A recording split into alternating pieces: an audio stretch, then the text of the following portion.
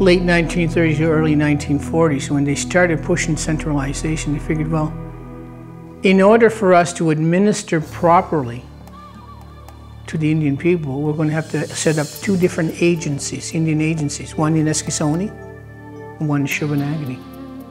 And in order to congregate the people in those areas, let's start selling off the reserve lands that they have.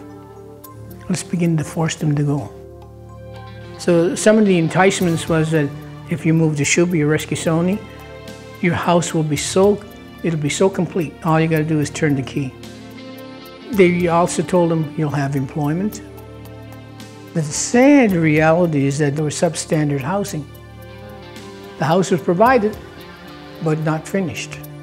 People started refusing to move.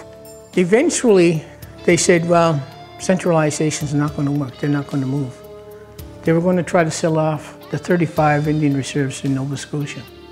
Now, when you look at the 35 Indian reserves in Nova Scotia today, it only com comprises of about 29,000 or so acres of land. Nova Scotia is over 13 million acres, over 13 million. So once we did occupy and use 13 million and some acres, down to 29,000. 1966-67 when um, Pierre Elliott Trudeau became Prime Minister of Canada. He was working with a gentleman by the name of Jean Chrétien, who at that time in the 60s, he was Minister of Indian Affairs.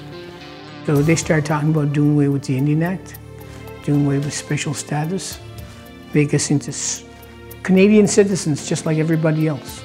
And see, what you got to remember that anything that's been presented in the House for the first time is called a white paper.